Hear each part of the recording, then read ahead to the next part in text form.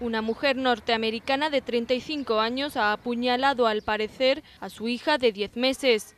Los hechos han sucedido en la mañana de este miércoles cuando varios vecinos han alertado a la Guardia Civil de que una mujer completamente desnuda iba andando por una calle de Utrera. Al parecer iba chillando en inglés y agrediendo a las personas que encontraba en su camino.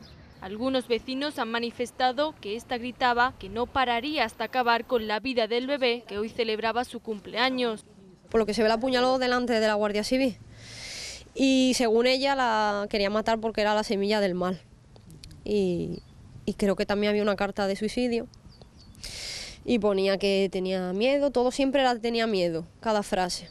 Y luego decía que si no la mataba iba a intentar matarla, hasta que no la matase no iba a parar. Esta vecina y su hermano pudieron ver a los agentes entrar en el domicilio de la mujer y salir con la niña ensangrentada. En ese momento la Guardia Civil se llevó al bebé en el coche patrulla directamente al hospital por la gravedad de las heridas. Estos vecinos que no se creen lo ocurrido han recordado que la mujer ahora detenida era bastante educada y sociable. Bastante, bastante educada y bastante... Eh, era habladora, o sea, lo que podía hablar en español te lo hablaba. Salía con su hija, siempre, siempre salía con su hija a correr, con el carrito, anda con el carrito, hace flexiones con el, con el carro al lado. Incluso cuando nació, a mi hermana, al vecino de aquí, también le decía, mira mi hija, qué guapa, que no sé qué, que no sé lo que habrá podido pasar, ¿verdad? Por su parte, el marido también de nacionalidad norteamericana y que ahora está, según los vecinos, en estado de shock, se encontraba trabajando fuera del domicilio en el momento de los hechos.